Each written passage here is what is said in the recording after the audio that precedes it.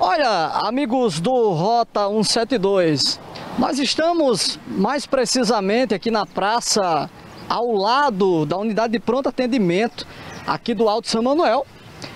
Mais precisamente nesta praça que em tese deveria ser utilizada para todos os tipos de práticas, seja esportivas, sejam para bater aquele papo, para passear em família, mas na noite de ontem algo de muito inusitado aconteceu aqui nesta dita praça, mais precisamente naqueles arcos mais à frente. Um elemento foi flagrado cometendo um ato libidinoso. Os populares que aqui utilizavam a praça ficaram chocados com tamanha ousadia, com tamanha petulância do Francisco Sueldo, de 43 anos. O Francisco, ele estava, amigos, não estava praticando exercício físico não, viu? Não estava conversando com os amigos. O Francisco, ele estava cometendo um ato libidinoso, tocando suas partes íntimas, sem se incomodar com a presença de crianças, de idosos ou de quem quer que estivesse presente neste momento. Inclusive, temos aí relato de vídeos circulando nas redes sociais dele praticando esse ato libidinoso, importunando aí as pessoas que utilizavam a praça pública aqui do Alto São Manuel, mais precisamente na rua Chico Pedro, de maneira à toa. Eles estavam muito à vontade, os populares ficaram revoltados, reclamaram e ele, sem se incomodar, continuava lá a sua prática.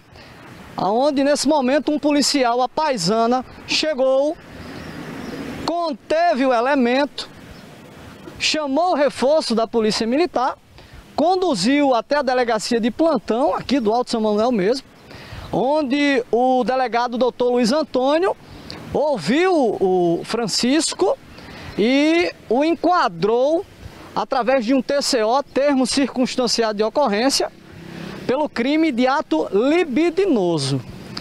Isso tudo aconteceu às claras, muito cedo da noite, como eu disse, onde muitas crianças, idosos estavam aqui conversando, caminhando nessa gangorra, as crianças brincando, e tudo isso aconteceu às claras.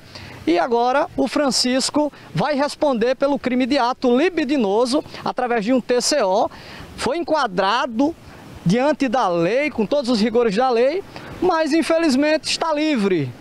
Quem nos traz maiores detalhes a respeito de tudo que aconteceu é o delegado plantonista, o doutor Luiz Antônio. Estaria se masturbando lá na, na praça do Alto São Manuel. Então, o que acontece? Foi visto por uma senhora que estaria com um filho e comunicou para alguém e alguém deteve ele, chamou um apoio e foi conduzido e foi feito o procedimento, né? Demonstrava, né, estar, eu acho que drogado, esse tipo de coisa, né? Dizia coisa por coisa.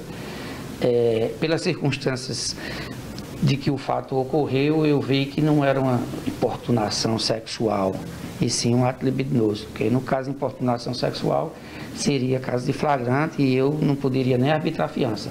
Ele teria que ficar preso à disposição da justiça. Mas eu achei que caracterizou realmente foi o ato libidinoso. Portanto, foi feito um TCO e liberado. Vai. E vai ser encaminhado para a delegacia da área, que é a área da primeira, e posteriormente para a justiça, né, para o juizado especial criminal. É, certamente ele não estava nem endereçado assim a, a, quem passava mais próximo, é que ele fixava o, o olhar, né? E, e a atenção do, do, do, do ato, né? É, uma das mulher veio à delegacia? É, veio uma pessoa que pediram para que ela acompanhasse para realmente comprovar que ela presenciou. Foi a única que apareceu. Após ter sido feito o termo circunstanciado de ocorrência, o TCO, o Francisco foi posto em liberdade. Com imagens de Lindomar Nascimento, Dudu Chocolate, para o Rota 172.